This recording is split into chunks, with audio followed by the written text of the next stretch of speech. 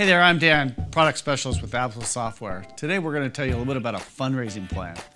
As you probably know, for a nonprofit organization, fundraising can be one of the most difficult and overwhelming tasks for that organization. So today we're going to just define for you about what a fundraising plan is and why you should have one.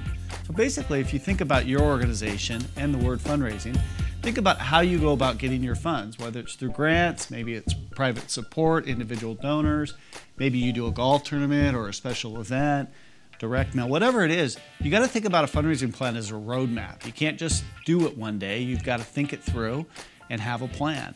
For any fundraising plan, you're going to have three core elements. The first is going to be what funding is needed. How much do you need to raise this year? The second is going to be where will that money come from?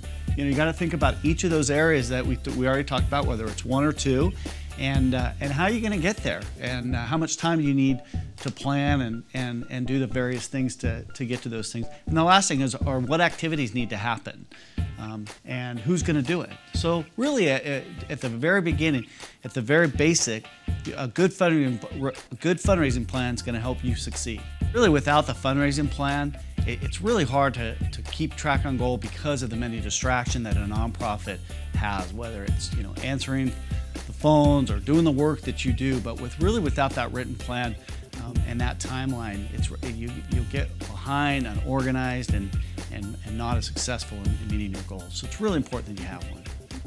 Hey, if you found this helpful, be sure and click the subscribe button, and we'll send you a weekly email with more content like this.